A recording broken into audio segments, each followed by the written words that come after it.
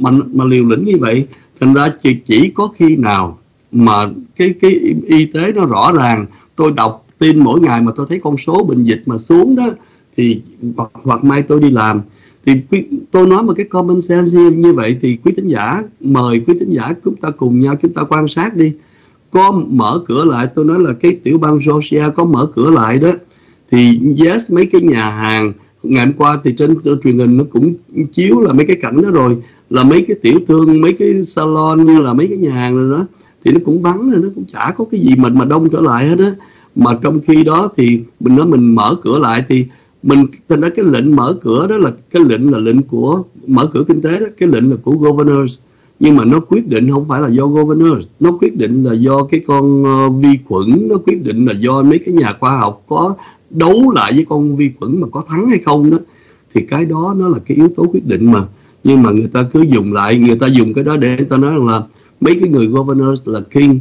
Trong khi đó mà tổng thống mình thì họ mình ổng tuyên bố ổng là king đó, mà chả có ai mà cuồng Trump nói là không sao, tổng thống mà Chúa tạo ra để mà cứu nhân loại nha. Bây giờ là bây giờ cái cái giọng điệu mới nha, là không phải là cứu nước Mỹ Chúa tạo Donald Trump ra để cứu nhân loại. Tôi nói, gia tinh lắm rồi đó. Chưa Chúa cứu rất là nhiều người nhìn lại, Paul Manafort, Chúa đã cứu nó ở trong cái tù liên bang. Ông Michael Cohen, tù liên bang. Tất cả những người mà mà được đụng tới Donald Trump là đều được đụng án tới cái bản án tù hết đó nói như vậy mà họ vẫn vẫn tin là Chúa cứu thôi à. Thành ra, hôm qua nghe cái lời của cái bà Burst đó bà hơi mỉa mai. Bà nói, tôi cũng không hiểu làm sao mà massage mà có thể giữ được cái khoảng cách đó. Thành ra, nhưng mà bà nói rằng là, ô, người ta creative lắm, người ta sáng tạo lắm làm cho tôi cũng mỉm cười. Tôi nói mà trong cái cuộc đời này đó ok cái mà khó nhất trong cái cái cái cái cái cái, cái, cái mình có cái điều làm mà khó lắm đó là mình quỳ gối mình tự lại mình á. Đừng không có nhiều người nói tôi là thì mình lại qua tấm kiến nó không có xài qua tấm kiến mình thực tế với nhau đi. Cái chuyện mà một người mà tự quỳ gối mà chấp tay lại mình nữa mà cái chuyện đó khó lắm. Khó là khó với chúng ta thôi chứ còn mẹ đưa tới tổng thống Trump thì nói theo bà bà Bush tổng thống sẽ sáng tạo lắm creative lắm. Donald Trump sẽ là người đầu tiên và duy nhất trong toàn thể nhân loại chúng ta mà có thể quỳ lại chính mình. Cái điều đó mới là cái ngầu đó. Trở lại với lời ngầu Vâng, à, thưa quý vị, à, cái cuộc khảo sát mà của trung tâm nghiên cứu mới đây thôi thì cho um, mọi người dân Mỹ biết là cái số người lo rằng những cái biện pháp hạn chế này à, có nên bỏ à, sớm không hay là phải nên giữ? Thì cái số người dân Mỹ của chúng ta đó thưa quý vị tới 66% họ rất rất là lo ngại. Họ muốn là khi mà dỡ bỏ đi cái lệnh cách ly thì phải là được an toàn chứ đừng có dỡ bỏ quá nhanh. Cái số người mà biểu tình đó thưa quý vị thì quý vị vừa mới theo hàng trăm người hay hàng ngàn người đi.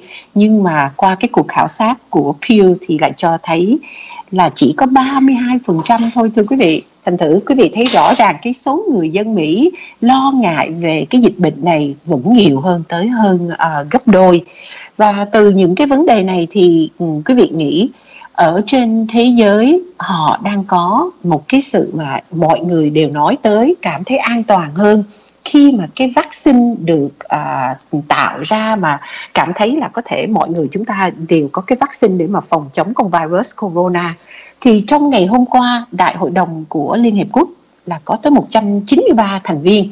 Và tất cả đều nhất trí thông qua một cái nghị quyết là bảo đảm cái vaccine khi mà được chế ra để phòng chống cái con virus này trong tương lai sẽ được phân phối công bằng cho tất cả mọi quốc gia trên thế giới, chứ không phải là chỉ giữ cho quốc gia nào mà họ chế tạo được ra và cái dự thảo nghị quyết này được à, soạn thảo theo ý tưởng của Mexico và được sự ủng hộ của nước Mỹ.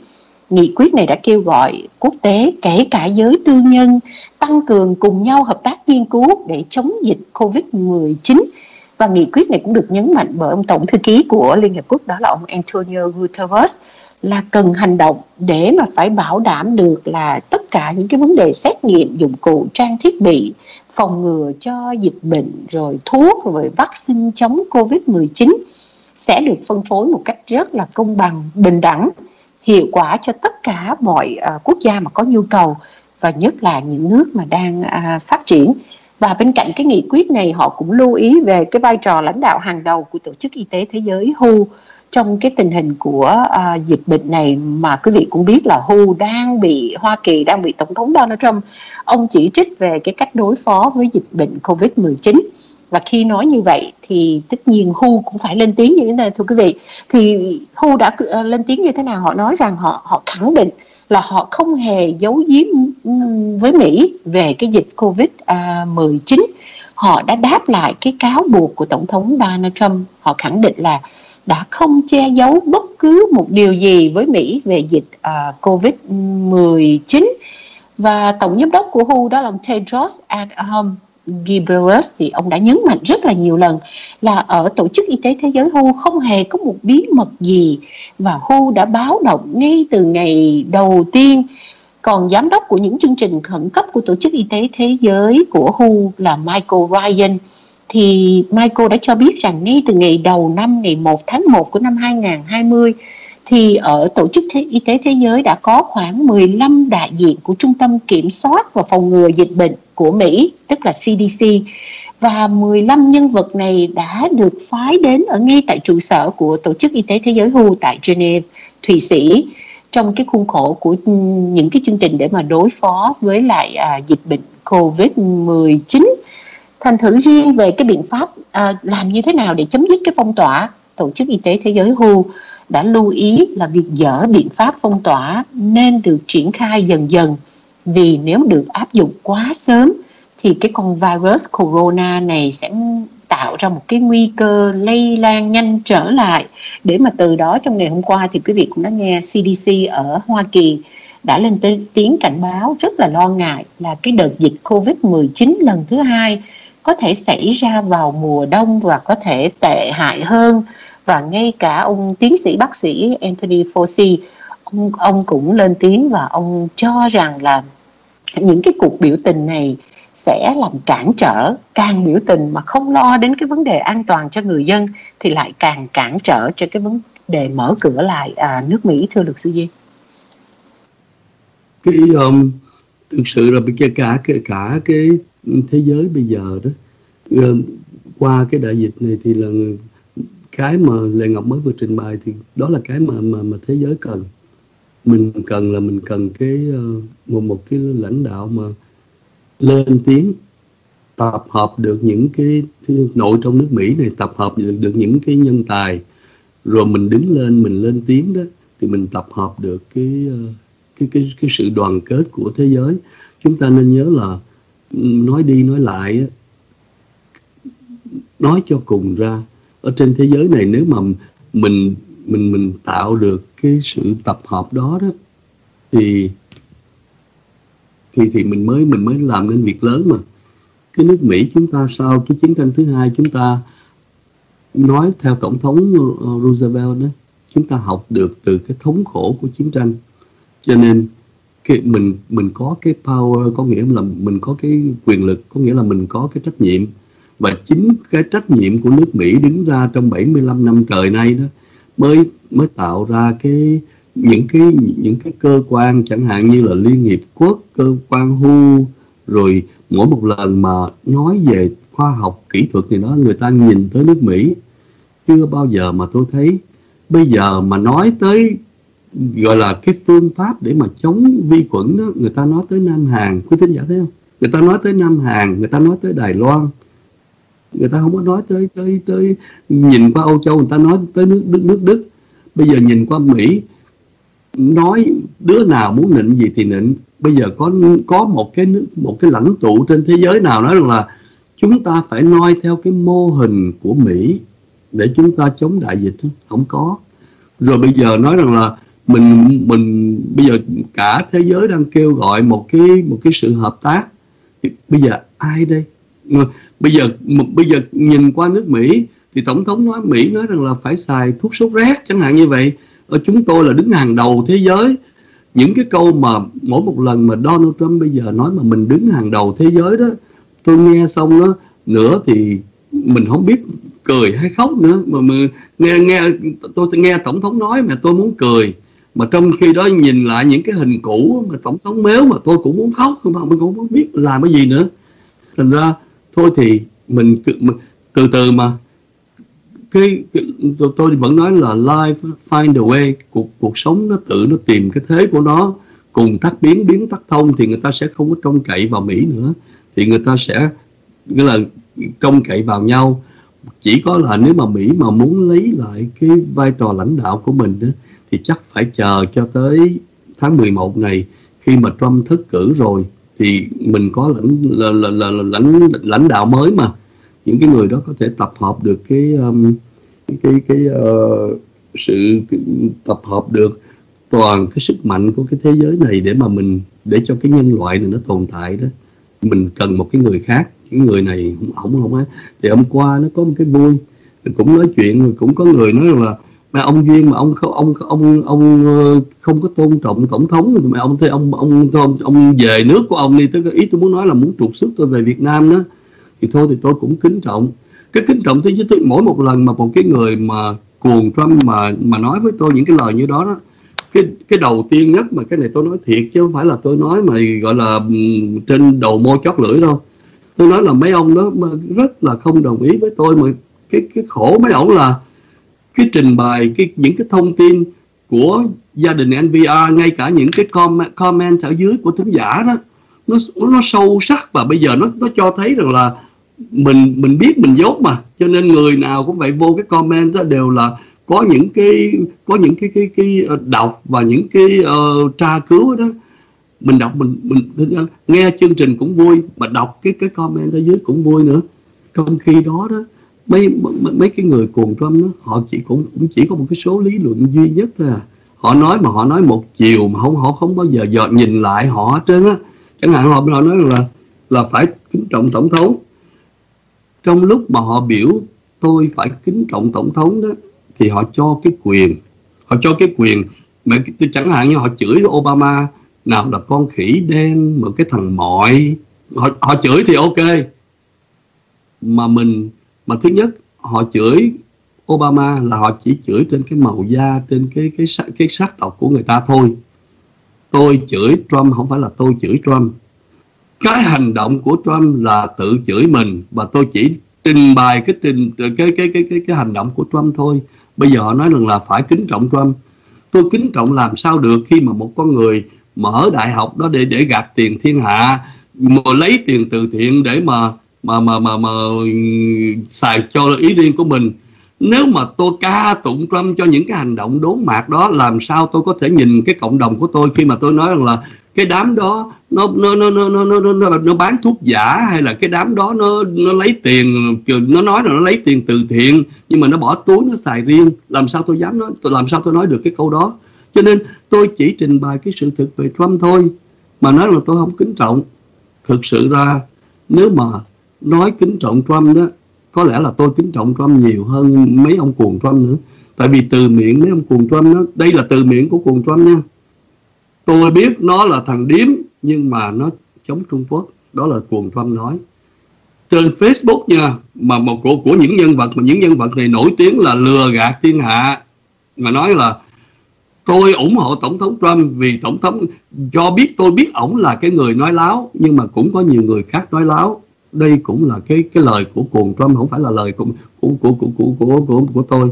Tôi ủng tôi biết là Trump nó, nó nói láo nó đốn mạc nó đê tiện. Tôi biết hết đó nhưng mà cái đó không ăn thua. Hỏi lại cuồng Trump Mỹ. Cuồng Trump Mỹ đó là miễn là ông làm cho America great again thôi chứ còn ông muốn phớt ai ông phớt. Đó là cái lời của họ. Họ biết rõ là Trump là thằng ma cô ma cạo Ờ, à, à, à, lường gạt ăn cắp tiền đủ thứ đó đâu phải là họ không biết đâu họ biết. Thế mà thứ nhất họ chửi Obama đó thì họ chửi là da đen mọi đen khỉ rồi này đó thì ok. Mà tôi chỉ trình bày cái sự thực về Donald Trump thôi đó thì họ nói tôi thiếu kính trọng. Thì thôi hồi mà mình mình nghe họ nói rằng mà ông ấy ấy mà, mà ông ông về Việt Nam đi đó tôi cũng sợ chứ tôi lo đến cái mức độ mà tôi cũng giống như Nguyễn Ngọc Như Quỳnh vậy đó mà nghe mình thấy mà họ lên tiếng họ nói mà đòi trục xuất mình đó lo đến mức độ mà gọi là đêm không ăn mà ngày mất ngủ luôn á lo, lo ghê gớm lắm á. Cho nên thôi thì cũng một lần nữa nói rằng là mấy ông chửi người ta thì được mà tôi chỉ trình bày sự thực thì mấy ông buồn đó thì thôi tôi cũng chiều mấy ông mà. Tôi cũng ờ, nói đúng cái ngôn ngữ của mấy ông là tôi rất là respect Donald Trump. Ok ha? Bây giờ mình giao với nhau vậy? Chẳng hạn như nói tới Obama đó thì mình phải xài chữ của mấy ông đó là Obama. Còn nói tổng thống Donald Trump thì nói là Donald Trump. Thành ra khi mình để hai tổng thống mà sát nhau đó để mà mình so sánh đó thì mình phải nói là Obama Donald Trump Obama Donald Trump.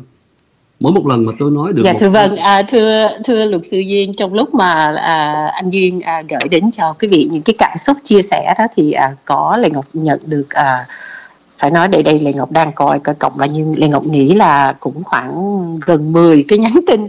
Thì nói là luật sư duyên đưa những cái tin à, những cái sự kiện đúng nhưng mà có thể là vì có những cái lúc, những cái cảm tính mà luật sư duyên có thể dùng những cái lời nặng nề mà đôi khi cũng không nên thì Lê Ngọc thấy cái ý nghĩa đó chung của những vị thính giả ở nhiều cái area code ừ, khá nhiều. Nhưng mà Lê Ngọc chỉ nhìn qua và Lê Ngọc gửi đến thì đa số đều nói những gì mà luật sư duyên đều là những cái tin ừ, trung thực nhưng vì có những cái cảm xúc những cái cảm tính mà có lẽ là luật sư duyên có ừ, dùng những cái lời nó khá nặng nề mà để cho uh, quý vị thính giả đôi lúc cũng nghĩ là uh, cũng không nên như vậy. Đó là những gì mà lệ ngọc vừa mới uh, gửi đến cho luật sư duyên. Dạ lắng vâng. nghe, lắng nghe. và để dạ. vâng, lắng, lắng, lắng nghe lắm và quý thính giả nói rất đúng. Nhưng mà sở dĩ mà tôi nói cái này không không có mình mình không có tự tự biện hộ đâu. Tôi biết cái đó là bậy mà. Tôi biết mỗi một lần mà tôi làm vậy là cái anh chàng cầu ông lãnh mà anh ảnh nổ lên mà. Nhưng mà quý tín giả thấy không? Cái cái sở dĩ cái phẫn nộ của tôi giống như tôi vẫn nói đó tôi là the voice of the voiceless đó có những người mà bị cái đám cuồng Trump nó thoá mạ, mà nó thoá mạ nặng nề lắm. Đâu, tôi thì tôi xài trên radio thì cái tiếng nó nặng, nhưng mà cái chữ nghĩa nó nó có cái cái cái cái tầm mức, nó có cái trình độ của nó. Còn mà, còn những cái chữ mà tôi mà tôi xài mà nặng đó là toàn là mấy cái chữ của họ thôi à thành ra, yes, có những cái lúc mà khó nghe, tôi rất là xin lỗi, nhưng mà khi mà mỗi một lần mà để hai tổng thống sát với nhau đó thì tôi theo đúng cái giọng của cùng Trump, không phải là giọng của tôi. Tôi phải nói là Obama, Donald Trump. Mà mỗi một lần tôi nói như vậy thì tôi tôi thấy là tôi rất là khỏe là tại vì tôi chửi đông Obama mà tôi khen Donald Trump mà. Mình làm được việc tốt mà. Mình thấy khỏe. Thành ra cuồng Trump hãy lặp lại giống như tôi như vậy, lặp lại một ngày 300 lần cái câu niệm chú đó má Donald Trump thì quý thính giả sẽ cảm dạ, thấy thưa vâng à, dạ thưa vâng Lệ Ngọc nghĩ là những cái phút đó nó cũng đã à, đủ để mà à, luật sư Duyên gửi đến những cái cảm xúc. Thì chúng ta hãy trở lại những cái phần tin tức đi. Thì à, bên cạnh những cái lời nhắn của quý vị thính giả thì có à, vài quý vị thính giả có hỏi về cái vấn đề cái à, check 1.200 Mỹ Kim. Thì trong ngày hôm qua Lệ Ngọc cũng đã tường trình đến và Lệ Ngọc cũng đã nói là Bộ Tài chính cũng đã cho biết là họ cũng đã bắt đầu gửi những cái ngân phiếu 1.200 Mỹ Kim đến cho người dân. Ở trong tuần này thành thử quý vị cũng nên theo dõi có thể là quý vị sẽ nhận được trong tuần này hay tuần tới hoặc là lần lượt quý vị cũng sẽ nhận được trong những ngày đầu của tháng 5 à, và khi mà nói đến những cái vấn đề này thưa quý vị còn có một cái bản tin mà nó cũng liên quan đến cái vấn đề à, đại dịch à, covid 19 nữa thưa quý vị. Thì thưa với luật sư duyên cái vấn đề này liên quan đến vấn đề di trú thì tổng thống Donald Trump ông đã ra lệnh là ngưng cấp thẻ thường trú nhân tức là chúng ta thường gọi là green card là thẻ xanh trong vòng à, 60 ngày 2 tháng với cái lý do là kinh tế bị ảnh hưởng vì Covid-19 à, thì cái lời tuyên bố của Tổng thống Donald Trump đã được giới truyền thông đưa ra trong ngày hôm qua qua cái lời Twitter của ông cho rằng ông sẽ ký cái xác lệnh di trú này trước cái tình hình của à, đại dịch Covid-19 đã xảy ra đã tấn công ở nước Mỹ cũng như đây là một cái nhu cầu để mà bảo vệ những công ăn việc làm cho những công dân Mỹ. À, thành thử với cái luật này thưa luật sư Duyên thì thật sự chúng ta biết là cái lệnh cấm này nó áp dụng cho ai và cái lúc nào sẽ là cái lúc mà có à, hiệu lực thưa luật sư Duyên trước khi trả lời về uh, di trú đó thứ nhất là tôi tôi xin lỗi thiệt sự nha, từ cái đáy tim của tôi đó, là xin lỗi với những cái người thính giả mà gọi là nhiều khi tôi tôi cũng đi quá xa thiệt mà mỗi lần mà mình nóng lên mà, là, mà mỗi một lần tôi nóng đó, cái dở của tôi này, cái dở kinh khủng lắm, là mình mình cứ để cho những cái lời của cái khùng khùng của mấy cuồng Trump đó, rồi nó giống như nó châm dầu vô thành ra mình nổ bung hết cỡ mà nhưng mà nhờ quý tín giả và nhờ lệ ngọc thỉnh thoảng nhắc là anh Duyên đừng có nóng quá đó. Thì một lần nữa uh, nói như thế là đủ rồi. Biết là khi mà tôi tôi tôi tôi nổ rồi nhìn lại mình cũng biết là mình cũng cũng phải xin lỗi thính giả của mình đó. tôi không có tôi không có quẩn để mà tôi xin lỗi cái cái cái nhóm khác cái nhóm cuồng drum với drum cuồng tôi không có quẩn. Tôi xin lỗi thân cái thính giả của tôi và hiểu rằng là mỗi một lần mà tôi lên tiếng mà như vậy đó là tại vì tôi nghe nhiều người nói với tôi rằng là mình mình mình bị chửi mà mình tức quá. Thành ra chính vì vậy mà sở dĩ mà tôi lên tiếng mà nặng lời đó là để tôi tôi tôi tôi đứng về cái phía của bao nhiêu người thầm lặng mà người ta không có cái chỗ để người ta bung đó. Thì thôi tất cả cái câu này thì đúng nè. Trăm dâu đổ đầu tầm. Mày cứ cứ chửi hắn nát Nguyễn Hoàng Duyên đi rồi làm cái cái cái cái uh, thỉnh nguyện nào đó nhờ đại tổng thống thiên thời thổ tả Donald Trump tống mẹ nó thằng Nguyễn Hoàng duy này về Việt Nam đi làm ơn, làm giùm tôi đi. Nhưng mà cái lời xin lỗi rất là chân thành đối với gia đình NVR đối với những người chính trực và nhất là những người mà cảm thấy rằng là đôi khi mà ông duyên mà cái cái cầu ông lãnh của ông mà nó bung ra quá, mà nó đi quá xa, phải không? Thì xin lỗi nhiều lắm. Ở trở lại cái vấn đề mà di dân. Thì chúng ta biết là một ông tổng thống có quyền xài cái executive order, nhưng mà ông tổng thống không có được quyền sửa luật. Cái chuyện đó là cái thời ông Obama mình cũng đã thấy rồi. Là chẳng hạn như cái DACA chẳng hạn, đó là ra một cái cái executive order thì tổng thống Obama không được quyền sửa lại cái luật di trú. Nhưng mà tổng thống chỉ nói rằng là cái nhóm mà DACA đó là những cái nhóm mà không có phạm tội gì cả, học hành đàng hoàng, đi làm thì defer, đừng có đuổi họ ra khỏi nước Mỹ để cho họ ở đây lại đi làm là trong thực tế mình cũng không có đủ sức để mà mình độ đuổi hết 12 triệu người ra khỏi nước Mỹ, đông lắm. Mà đuổi không được thì để cho người ta đi làm, người ta đóng thuế, người ta phục vụ đất nước. Thì cái luật đó nó không có sửa được cái luật di trú cho nên cái executive order đó nó hoàn toàn, nó nằm ở trong cái thẩm quyền của tổng thống thì bây giờ cũng vậy. Ngay bây giờ tổng thống nói rằng là tổng thống sẽ ngăn chặn những cái người xin thẻ xanh đi vào Mỹ đó. Thì có nhiều người hỏi tôi cái đầu tiên là cái điểm điểm mà về luật pháp đó tổng thống có cái quyền này hay không? Thì tôi mới nói rằng thứ nhất là cái luật tổng thống nói rất là rõ chỉ có giá trị trong trong vòng 60 ngày tới thôi chứ không phải là sửa luôn cái luật uh, di trú. Và thứ hai tổng thống nói rằng là trong cái đại dịch này, tổng thống có cái quyền ra cái executive order đó thì cái câu đó hoàn toàn đúng. Cho nên, nếu mà nói về luật pháp là tổng thống có quyền, Mà hỏi là cái biện pháp của tổng thống có đúng hay không, thì về nhiều mặt, nó nó cái cái cái cái à, tác động của nó đó, nó chỉ có chừng mực thôi, thì không có đến nỗi để mà làm ra một cái challenge nào ghê gớm là tại vì cái cái chuyện tổng thống nói nó tổng tổng thống chỉ narrow down cái là thu hẹp lại là thí dụ mình đang ở nước ngoài mà mình xin thẻ xanh để mình vào nước Mỹ đó thì mình, mình sẽ đình lại trong vòng 60 ngày. 60 ngày thì nó cũng không có lâu. Và nhất là ngay bây giờ đây là đây là cái thực tế nè là các tòa lãnh sự Mỹ và ngay cả sở di trú họ cũng đã ngưng là trước khi tổng thống muốn ra cái lệnh đó đó họ cũng đã ngưng xét cái hồ sơ một thời gian rồi. Thành ra mọi sự nó đều chậm lại. Thành ra nếu mà không có lệnh của tổng thống đi nữa thì mọi sự nó cũng đã chậm lại rồi trong vòng 60 ngày thôi. Vậy thì tôi cái lời nhắn ra ngoài là quý tín giả không có lo gì hết. Ví dụ mình đang bảo lãnh cho người thân của mình này nọ đó mà mình có cảm thấy là cái đơn mình chờ đợi lâu một chút xíu nó cũng không có không có mất mát gì mà. Ờ, nhưng mà nói lại về luật pháp với cái tầm vóc của cái lệnh thì tổng thống có cái quyền đó. Và hỏi rằng là cái cái cái cái cái cái đó nó có gây tác hại nhiều hay không? Thì cái thời gian là 60 ngày, thì mình biết là cái đơn bảo lãnh mà chờ thêm, mình chờ thường thường là nhanh nhất đi nữa cũng là một năm một năm rưỡi. Rồi chờ thêm 60 ngày thì cái đó là trong cái đại dịch này, nó tự nhiên tổng thống mà không có ra cái lệnh đi nữa đó, sở di trú tòa lãnh sự cũng ngưng làm việc rồi mọi sự, nghĩa là tất cả mọi sự nó cũng đều đều bị trì trệ hết. Tòa án còn bị trì trệ mà.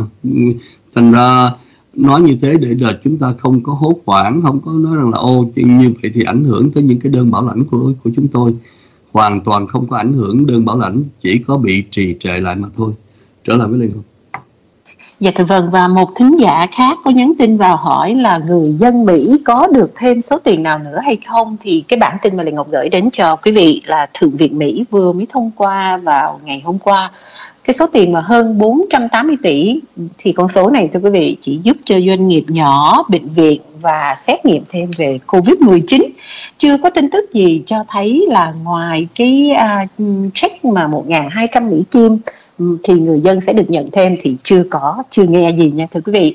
Và khi mà nếu mà có được những tin tức gì về chúng ta sẽ nhận được thêm hay không thì lệ ngọc cũng sẽ tường trình đến cho quý vị. Tất cả anh chị em trong đài sẽ tường trình đến cho quý vị.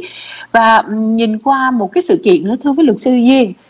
Ông Joe Biden ứng viên tổng thống bên đảng dân chủ. Quý vị à, đều nhớ là trước đây ông có lên tiếng ông cam kết là ông sẽ chọn một người phụ nữ làm phó tướng cho ông à, trong cái cuộc đua chạy vào tòa bạch ốc. Hiện nay có rất nhiều những cái đồn đoán họ cho rằng là bà Michelle Obama cụ đệ nhất phu nhân sẽ là cái người phụ nữ đó. Thật hư như thế nào thì lệ ngọc ừ, thưa với luật sư duyên lệ ngọc thấy là uh, qua ngày hôm qua ngày hôm kia vào ngày 20 tháng 4 nếu mà quý vị à, thính giả có theo dõi một à, biên tập viên và cũng là một phân tích chính trị hàng đầu của đài à, KDKA TV ở ngay tại à, Pittsburgh của tiểu bang Pennsylvania. Đó là ông John Delano. Thì chúng ta đã thấy là ông này có lên tiếng và um, hỏi uh, ông Joe Biden. Thì ông Joe Biden trả lời là ông sẽ chọn ngay lập tức nếu mà bà Michelle Obama đồng ý. Vì bà rất là xuất sắc bà Michelle Obama biết cái cách vận hành đủ mọi thứ và bà Michelle Obama là một người phụ nữ tuyệt vời và gia đình ông Obama là những người bạn tốt thì thưa với luật sư duyên thật sự những cái đồn đoán này à, có lẽ là thời gian sẽ trả lời cho chúng ta nhưng mà không biết luật sư duyên có ghi nhận gì về cái vấn đề này hay không ạ à? thứ nhất là về những cái người mà chung quanh bà Michelle Obama, những cái người mà thân cận nhất, và nhất là chính bà Michelle Obama, bà cũng nói nhiều lần là bà không bao giờ muốn run cho cái office nào hết á. Thì những cái nguồn tin đó là những người nguồn tin mà, gọi là, đáng tin cậy, mà nhất là Michelle, qua bao, tám năm trời làm đệ nhất phu nhân, rồi sau đó làm việc đủ thứ đó, những lần bà tuyên bố đó là bà giữ cái lời đó cho nên anh Duyên không nghĩ là Michelle Obama với cái bản chất con người này đó là là là sẽ run cho phó tổng thống. Bây giờ có thể nói là không cần nói run nữa. Nói là ngày mai cho bà làm phó tổng thống khỏi bầu cử gì nữa, bà cũng không có nhận đâu.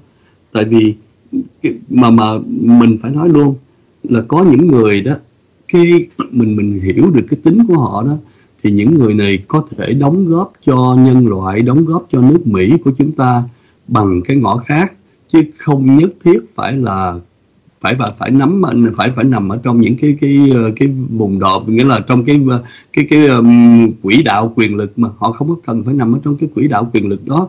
Cho nên Michelle Obama mà bây giờ mà nói mà ra làm phó tổng thống rồi cái ừ, đương đầu này nọ đó thì bà lại không xuất sắc. Nhưng mà nếu mà để cho Michelle Obama làm những cái chức vụ mà đằng sau rồi, gọi là, hay là giao cho bà những cái power mà nghĩa là mình mà đem lại cái cái lợi ích mà thực sự đó. Thì có lẽ là Michelle Obama làm rất là hay. Nó cũng mà cái chuyện này nó nó là common sense thôi à. Quý thính giả thấy không? Nhiều cái người như là, chẳng hạn như mình thấy mà ông tỷ phú như là ông Michael Bloomberg, thì ông Michael Bloomberg thì khác. Michael Bloomberg thì thì ông đã từng là thị trưởng rồi. Ông đã từng dấn vào chính trị rồi ông hiểu cái cách điều hành rồi thì Michael Bloomberg là một tỷ phú mà ra mà là làm những cái chức vụ đó thì hay. Nhưng mà thí dụ nói rằng bảo ông Bill Gates á, mà ra làm phó tổng thống thì tôi thấy nó nó không hay không không hay lắm. Ở cái chỗ là Bill Gates là cái người mà ông nhìn ông có cái tầm nhìn về về cái nhân loại này. Thành ra từ cái chuyện mà trí tuệ nhân tạo hay là hay là uh, uh, vi khuẩn mà giết người này đó, ông nhìn trước và ông đưa ra những cái biện pháp rồi ông dùng cái tiền của ông để mà ông hỗ trợ cái đó chỉ những cái nhóm đó. Hay là ông là cái người mà nói rằng là nếu mà để cứu để cứu cái trái đất này đó thì loài người cũng là nên uh, bợ, sử dụng thực phẩm của mình đó là từ từ cái plant B chẳng hạn từ cây cỏ. Thì ông ông hỗ trợ cho những cái chương trình nghiên cứu đó. Thì tôi thấy về hay là những cái chương trình về khí hậu về xài năng lượng như thế nào thì ông rất là hay. Nhưng mà nếu mà đưa ổng ra để rồi ổng chịu búa rìu dư luận đó thì nó là dở. Những thành ra mỗi một người ông thượng đế sinh ra hay lắm là, là có những cái những cái cá tính và những cái đầu óc đó có thể đi vào trong cái quỹ đạo quyền lực và dùng cái quyền mình tốt hay xấu cũng tùy người thì thì nó nó nó có lợi. Nhưng mà nếu mà thật sự mà có lợi cho mọi người đó thì Michelle Obama đừng nên làm phó tổng thống mà tôi nói lên cái điều đó là tại vì tôi theo dõi chính trị mình theo dõi mình cũng lắng nghe từ mấy người đó mà mình biết như vậy. Thực sự cái nhân vật mà ờ, phó tổng thống của ông ông ờ, ông, ông ờ, Biden bây giờ đó nếu mà mình nhìn mình hỏi là vì sao mà đảng dân chủ ngay bây giờ họ lại quan trọng cái ghế phó tổng thống? Chúng ta biết mà phó tổng thống đời nào cũng vậy cũng chỉ là núp trong cánh gà làm việc thôi chứ không có nhưng mà tại sao mà lần này mà quan trọng lắm? Là tại vì vì, vì đảng dân chủ đó họ họ nhìn rất là rõ cái cái cái cái cái điểm này. Là họ biết rằng là cái nhu cầu number one số 1 đó là phải lấy lại cái cái tòa bạch ốc là để đẩy Donald Trump ra khỏi cái tòa bạch ốc. Đó là cái quan cái cái số 1 chúng ta thấy một lần giống như là trong chương trình lần trước đó anh Duyên nói rằng là cái cái cái uh, cái sự đoàn kết rất hiếm thấy trong trong trong chính trị. Mà bây giờ chúng ta thấy mọi cái walk of life mọi cái đường hướng của đảng dân chủ đó bây giờ họ nói rằng là họ dẹp hết mấy cái cái cái cái cái, cái khác biệt. Bây giờ Bernie Sanders rồi AOC đều đứng support ông Biden hết. Rồi bây giờ trong lúc mà anh em chúng ta đang nói chuyện nè là Bernie Sanders đã có những cái cái cái, những cái ờ, đoàn, những cái nhóm mà làm việc với Joe Biden để mà chuẩn bị là nếu mà Joe Biden trở thành tổng thống đó, thì thực hiện những cái cái cái đường hướng cho nước Mỹ như thế nào mà bây giờ người ta đã làm rồi. Và người ta cũng biết là tống Donald Trump ra khỏi để mình lấy lại cái phẩm cách cho cái, cho cái cái cái cái tòa bạch ốc đó. Cái này là cái phẩm cách cho tòa bạch ốc chứ không phải là cho bất kỳ tổng tổng thống nào mà. Thì người ta muốn lấy lại cái chuyện đó. Cho nên, và người ta cũng biết rằng là Joe Biden là cái người ngay bây giờ nè. Các cái tiểu bang mà trung tây đó, mà cái tiểu bang mà gọi là da trắng, cực đoan đó, thì cái có một cái nhóm nhóm đó họ trung lập, họ có vẻ ôn hòa thì nếu mà họ ôn hòa đó, mà họ nhìn cái hình ảnh của Joe Biden cũng là một ông Mỹ trắng, một người đàn ông đó, thì người ta dễ bỏ phiếu cho hai người đó, cho cho những cái cái cái hình ảnh như vậy mà. Cho nên ngay bây giờ, những cái thăm dò cho thấy là những cái tiểu bang trung tây bây giờ, những, cái cái số phiếu dồn cho Joe Biden rất là đông. Chính vì vậy mà người ta người đảng dân chủ đó, họ rất là đứng sau lưng Joe Biden, biết rằng là Joe Biden không có perfect đâu, nhưng mà đứng đằng sau lưng Joe Biden đó.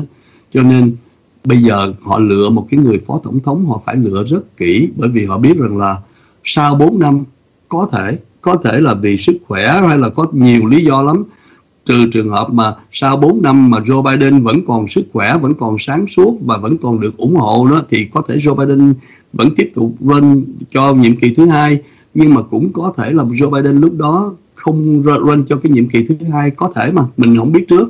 Nhưng mà nếu mà lỡ cái chuyện đó mà xảy ra đó, thì cái người phó tổng thống phải là rất là ngon lành, nghĩa là ra ứng cử liền thứ khác.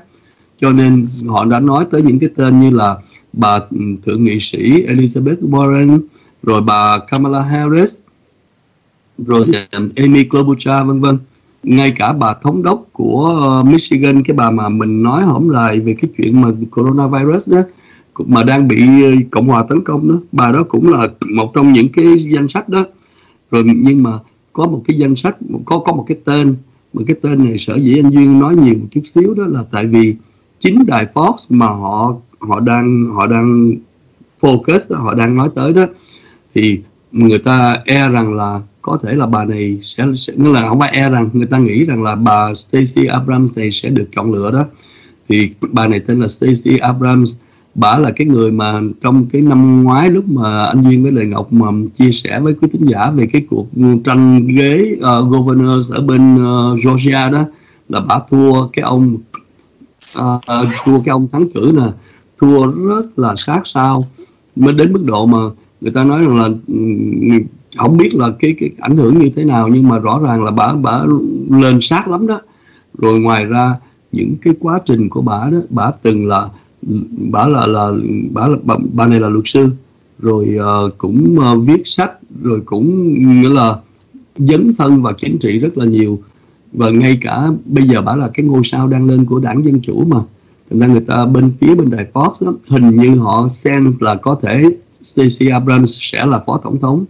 Thì mình để mình xem như thế nào nhưng mà ngay bây giờ thì chúng ta thấy đó uh, có bà Elizabeth Warren có, có bà Kamala Harris Amy Klobuchar vân vân. Thì đó là hay là bà bà Gretchen Whitmer.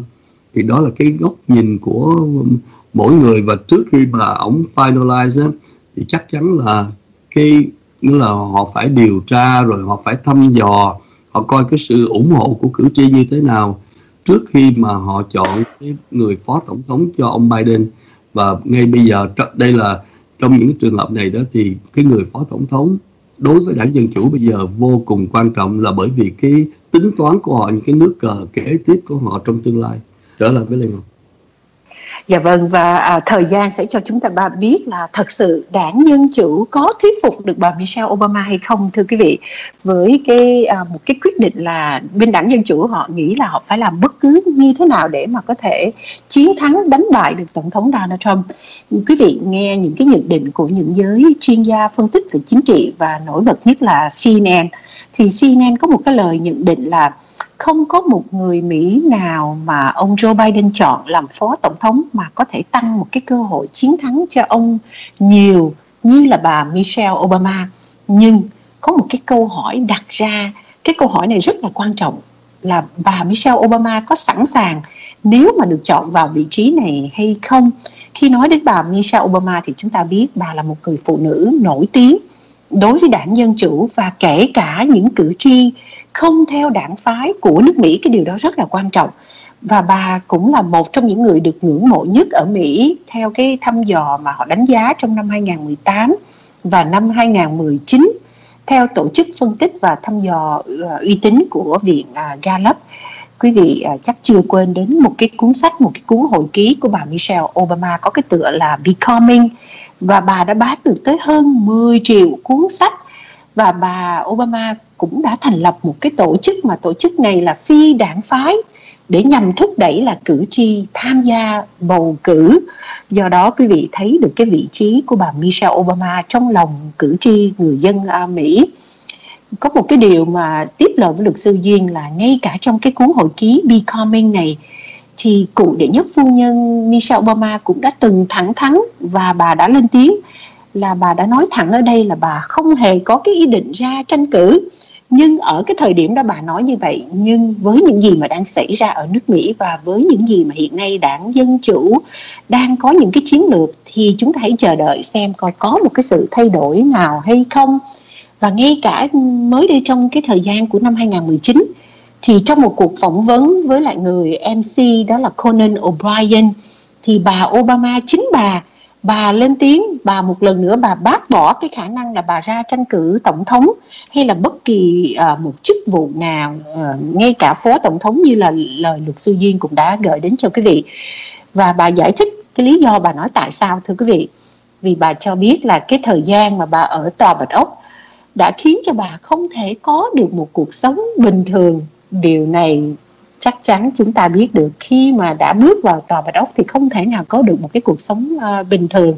Và do đó thời gian cũng sẽ trả lời cho uh, chúng ta biết thật sự cái cái, cái đồn đoán này có trở thành uh, sự thật uh, hay không thưa luật sư duyên. Riêng luật sư duyên thì luật sư duyên nghĩ là chắc chắn sẽ không xảy ra.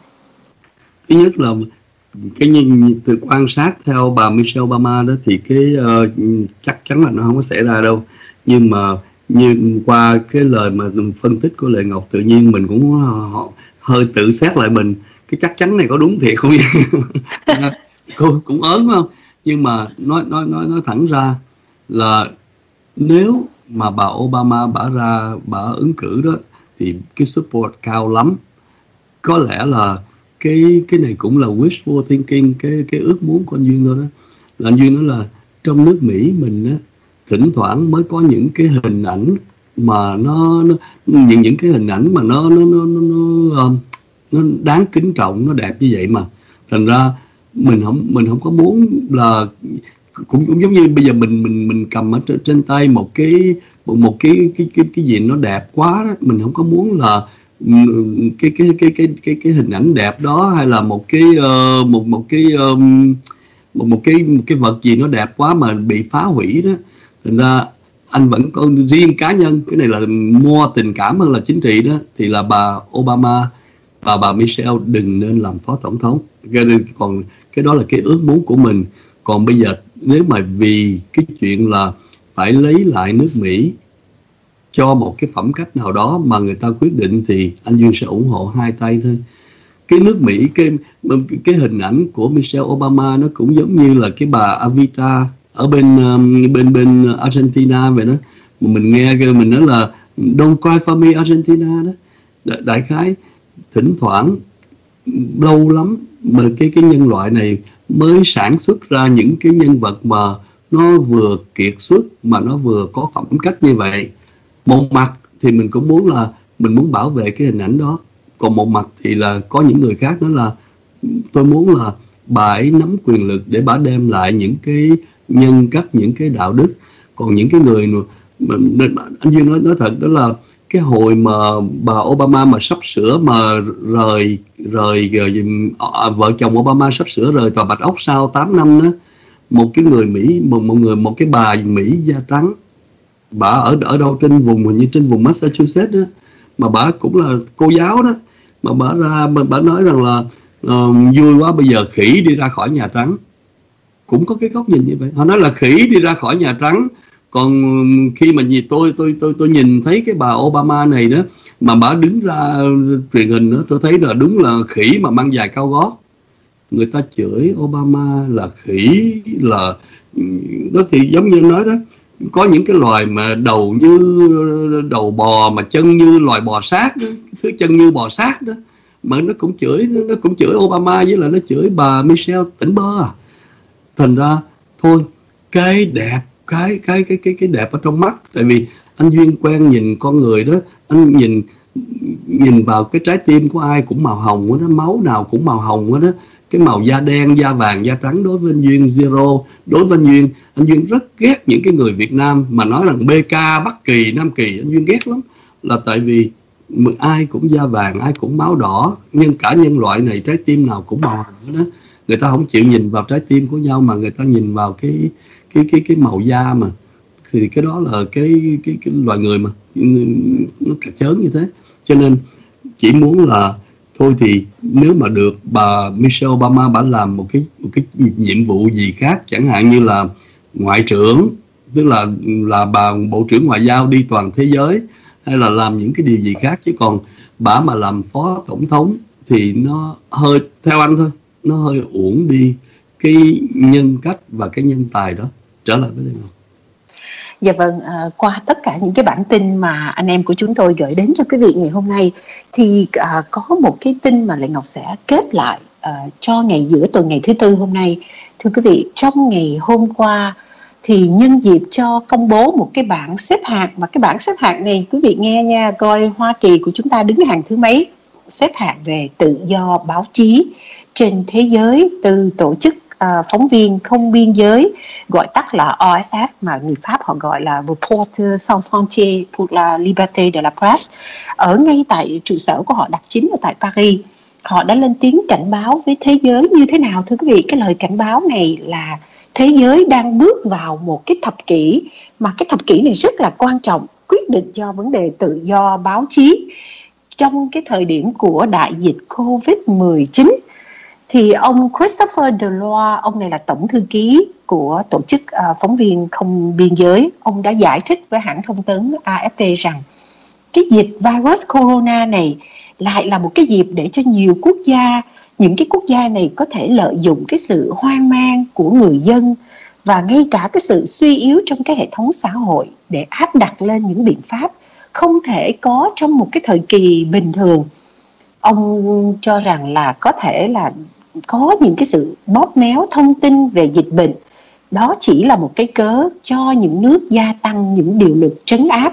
Và những cái nước gia tăng trấn áp này đó là ai? Đó là trong trường hợp của Trung Quốc, của Iran, đều áp dụng những cái biện pháp kiểm duyệt rất là ngặt nghèo, phải nói là ngặt nghèo hơn, hay là ở Hungary để mà cho thông qua cái luật phòng chống virus corona nào là để nâng cái mức án tù lên tới 5 năm thay vì cái tội phát tán thông tin sai sự thật và cái dịch bệnh Covid-19 này cũng làm gia tăng cái khủng hoảng trong báo chí. Ông đã nêu ra một vài thí dụ à, điển hình như là ở Liberia, các tờ báo giấy đã phải ngừng phát hành hay là ở ngay tại Hoa Kỳ thưa quý vị có hơn 30.000 nghìn người bị mất việc trong cái vấn đề mà à, báo chí từ đầu của cái cuộc khủng hoảng của đại dịch à, Covid-19 và theo lời của ông Christopher Delors thì ông nói rằng tự do báo chí cái tính đa nguyên và cái độ tin cậy của thông tin trong một thập kỷ tới sẽ có thách thức. Và cái thách thức này có thể là ngay từ bây giờ. Và đây là cái sơ bộ về bảng xếp hạng thế giới về tự do báo chí tại 180 nước. Lê Ngọc sẽ dẫn đưa đến cho quý vị. Ba nước đầu tiên dẫn đầu bảng thưa quý vị. Không có Hoa Kỳ nằm trong đó. Ba nước Na Uy, Phần Lan và Đan Mạch. Nước Pháp thì bị uh, lùi lại uh, hai hạng xếp hạng thứ 32 còn tại Hoa Kỳ nước Mỹ của chúng ta tăng được hai điểm. Từ tăng 2 điểm mà chúng ta mới đứng có thứ hạng 45 ừ, Ừ, quý vị nghĩ như thế nào khi mà Hoa Kỳ chỉ đứng thứ hạng thứ 45 về báo chí thưa với lại luật sư uh, Duyên? À đây trước khi mà Lê Ngọc um, chúng ta nghe uh, luật sư Duyên phân tích đi thì uh, Bắc Hàn là xếp cuối bảng 180 Trung Quốc xếp thứ 177 Việt Nam đứng thứ 175 trở lại với luật sư Duyên. Cái um, thứ nhất là không có ngạc nhiên gì mà ba cái nước là Việt Nam, Trung Quốc với Bắc Hàn gọi là dập tắt báo chí thì cái đó là là đúng rồi. Còn bây giờ mình mới nói rằng là nước Mỹ mình nó thua Na Uy, Phần Lan, Đan Mạch mà mình đứng hàng thứ 45. Sở dĩ như vậy là tại vì những nước như Na Uy, Phần Lan, Đan Mạch một, một lần nữa cái những cái nước này là cuồng Trump gọi là những mấy nước chủ nghĩa xã hội đó là người ta người ta cái cái người mà ra cầm cầm cầm quyền đó người ta không có nghĩ là khi người ra người ra cầm quyền người ta biết rằng là tôi làm đấy là cũng cái job. Tôi là đi ra để tôi phục vụ nhân dân mà. Thành ra tôi ra tôi phục vụ nhân dân có quyền phê phán. Chính vì vậy họ không có ke lắm. Có chửi họ họ cũng không ke nữa. Bây giờ bên phía Nam Hàn cũng vậy đó tôi tin tôi không biết là Nam, Nam Hàn số mấy nhưng mà chắc là cái tự do báo chí cũng cao lắm đó. Còn trở lại ở nước Mỹ này chúng ta thấy có hai điều cái điều thứ nhất đó sở, sở dĩ mà nước Mỹ mà đứng thứ 45 đó là tại vì về luật pháp đó mình phải nói rằng là luật pháp của nước Mỹ cũng đứng hàng đầu thế giới về cái vấn đề. Có nghĩa là mình có quyền mình phê phán mình muốn nói đài Mỹ mà nghe mình xin lỗi tổng thống nào cũng vậy hồi tổng mấy tổng thống trước họ cũng, cũng nói cái gì chữ chữ nghĩa nặng nề họ chửi mình cũng chửi tuôn ra. Thì bây giờ cũng vậy. Bà hỏi rằng là về phía truyền thông có thay đổi cái cái cái cái đó hay không? Không có mà chính vì cái cái cái thay đổi của truyền thông nó nó cũng đi theo cái thay đổi của lãnh đạo nữa. Lãnh đạo mà càng càng cà chớn thì truyền thông họ lại càng chỉ trích nặng nề mà càng cà chớn hơn nữa. Nếu mà quý thính giả mà nghe mấy cái đài Mỹ bây giờ đó thì những cái gì mà Nguyễn Hoàng Duyên nói chả ăn thua gì hết trơn á. Thành ra mình phải nói rằng là về luật pháp thì vẫn như vậy luật pháp nó vẫn rõ ràng. Về cái cái cái um, về cái cái nhân cách của của truyền thông vẫn như vậy cái khác là cái khác của lãnh đạo. Tức là lãnh đạo bây giờ đó, thứ nhất là có tật giật mình, paranoia tự tôn, cái gì mình cũng nhất hết đó. Thành ra những cái người và và và đồng thời lại chính ông tổng thống lại sách động, mọi người phải phải dùng bạo lực nữa mà. Tổng thống mà suối người ta làm tầm bậy. Chính vì như vậy mà báo chí của Mỹ đó mới xuống hàng 45 cái cái cái sở dĩ mà tự do báo chí của Mỹ mà xuống xuống cấp đó là không không phải xuống cấp. Ý tôi muốn nói là là um, đứng hàng 45 đó như Lệ Ngọc nói thì nãy là nâng lên được hai điểm. Nhưng mà sở dĩ như vậy là chỉ vì chính quyền của chúng ta làm những cái điều mà cố muốn trù dập báo chí đưa ra những cái chuyện mà rùi bu nó là fake news bây giờ mà trái đất nó dẹp mà đại khái nó như thế. Cái gì cũng conspiracy thành ra người ta sắp hạng nước Mỹ là 45 nhưng mà quý thính giả hãy tin rằng luật pháp về tự do báo chí của Mỹ vẫn là đứng hàng đầu. Và những cái người ký giả, những cái người bình luận, những cái người làm việc vẫn là những người can đảm hàng đầu luôn đó. Thành ra cộng lại, cộng trừ nhân chia lại thì họ xếp mình số 45 mình chịu thôi. Nhưng mà anh Duyên vẫn rất là tự hào sống ở một cái nước Mỹ này mà người người người người làm truyền thông đó họ có quyền họ nói lên những cái điều họ nói mà. Rồi trở lại nó có một cái một cái mà anh duyên phải hồi nãy khi mà mà mà, mà ngồi mà mình thấm lại mình suy nghĩ đó anh duyên thương cái gia đình NVR mà thương những cái người mà mà chính trực lắm ở cái chỗ này. Là chúng ta thấy rằng là ở bên mà cuồng Trump đó mình mà mình đọc cái bài họ viết sự thực thì bá láp chữ nghĩa thì rất là bẩn thỉu ghê tởm. Mà họ, một người bẩn thỉu đó, thì một trăm người hùa vô họ bẩn thỉu. Rồi thêm Donald Trump hùa vô suối dục sách động. Tức là cái đám cuồng đó, nó nó nó đổ dầu thêm vô cho cái cái cái cái ngọn lửa hung tàn của tụi nó. Nó bê bối, nó dơ dái, nó nó đổ xịt thêm vô vào. Trong khi đó, anh thương gia đình Elvia chỗ nói là ông duyên, ông nói thì ông cứ phân tích cho hay đi mà ông xài chữ nhẹ nhẹ. Quý tín giả thấy hai cái cái đường hướng nó khác nhau không?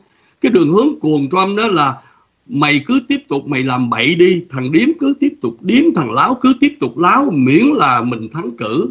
Và miễn là Trump thắng cử là được, còn mình cứ tiếp tục mình láo. Còn NVR nói rằng là, ông Duyên nói sự thật rất là sự thật nhưng mà ông Duyên nhẹ nhẹ, xài cái chữ nhẹ nhẹ lại tôi nghĩ rằng là chắc không ai xài chữ giống tôi đâu. Những cái người, những cái người mà mà mà gọi là nhìn ra sự thực đó, ai cũng cân nhắc cái chữ nghĩa của mình. Thành ra tôi mừng lắm. Tôi mừng tôi nói rằng là thành ra trong cái đám mà mà mà gọi là, mà chống cái bọn cuồng đó, chỉ có một một mình Nguyễn Hoàng Duyên là cái thằng tầm bậy, cái thằng cà chớn thôi. Trong khi cả cái gia đình tôi toàn là những người tử tế và những người đó thấy rằng là, hễ mà ông Duyên mà ông đi xa nữa đó, thì ông sẽ là tầm bậy mà người ta sẵn sàng người ta phản vô từ đó là ông Duyên xài chữ đàng hoàng. Quý tín giả thấy quý không? Quý kinh khủng luôn đó. Cho nên tôi nói thật mà nói chuyện lần đầu tiên mà tôi feel là cái cái cái tính giả của NVR là một gia đình đó thì tôi dùng cái chữ gia đình NVR cứ càng ngày tôi nghe tính giả gọi vô cũng nói là nhiều người nói, tôi là gia đình NVR nè thì bây giờ thật sự đây là một cái gia đình mà theo giống như người Mỹ mà họ dùng cái chữ là virtual uh, virtual family đó. Tức là yes một cái trong một cái cái, cái chừng mực nào đó mình trở thành một gia đình rồi mặc dù là không bao giờ gặp mặt nhau không bao giờ thấy nhau không có bao giờ nói chuyện gì hết đó nhưng mà nó có một cái connection đó. Và thưa quý thính giả trong cái connection này đó trong cái kết hợp mà gia đình này đó quý thính giả hiểu giùm tôi là nhờ cái tử tế và cái nhân cách của quý thính giả đó, nó giữ cho tôi cái ngọn lửa để mà tôi trình bày. Thành ra những cái lúc mà tôi mình hơi đi quá xa đó, nhớ níu lại níu lại giống như là lệ ngọc với quý thính giả vẫn níu cái đó, nó hay lắm. Nó nói lên cái nhân cách của gia đình NVR mình hoàn toàn khác cái lũ mà liệu đường mà bệnh khác hẳn lắm. Cho nên, để mà khép lại cái chuyện ngày hôm nay đó thì phải nói là hôm qua đọc có một cái một cái comment, có một câu thôi của của thính giả NVR đọc xong mà cũng mỉm mỉm cười nhẹ mà. Nói là cái ông thính giả đó ông viết là gì nào? Người ta xem Trump trên TV nhiều là bởi vì lệnh cách ly không đi sở thú được. Đó là thính giả nói như vậy. Làm cho tôi mình cũng ngồi. Tự nhiên làm thính giả nhắc tôi cái chuyện cũng téo téo mình cũng lặp lại chơi cho nó vui. Tức là dĩ nhiên mình nghĩ ra mình cũng chế mà. Mình chế ra mình nói, trong cái nếu mà quý thính giả cứ tưởng tượng đi mà ờ, tổng thống Trump mà sau khi mà brief cái vụ mà coronavirus đó, tổng thống mới lên cơn điên mà ừ, hùng hổ lên thì mấy người trong nội các mấy trong trong cái đám mà chống ờ, chống dịch đó người ta bỏ người ta ra ngoài tổng thống còn lại có một mình. Nhìn qua nhìn lại chỉ thấy có cái anh cận vệ còn đứng đó. Hỏi là hỏi thiệt mày đó hồi giờ mày có thấy người nào mà giống như tao không? Thì cái ông cận vệ, ông mới trên ba trả lời, ông nói là dạ có chứ, nhưng mà hồi đó tôi phải mua vé mới được vô coi. Trở lại với Lê Ngọc.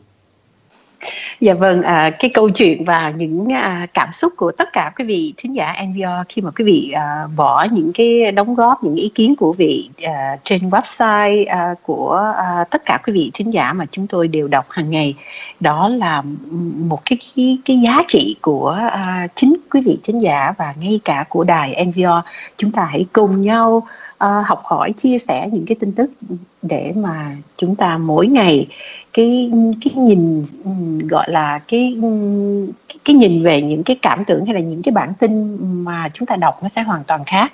Cùng nhau nâng cao cái uh, trí hiểu biết của mọi người của chúng ta đó là một cái điều rất là thích thú.